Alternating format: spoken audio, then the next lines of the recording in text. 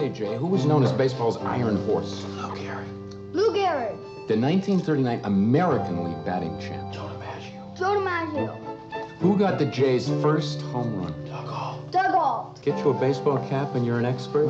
Sure that's not a thinking cap? Hey. Blue Jays caps for $1.99. Net proceeds go to Ronald McDonald Houses and local children's charities. Give me 25 of those caps. It's a good time for the great taste of McDonald's. They're for my Jays.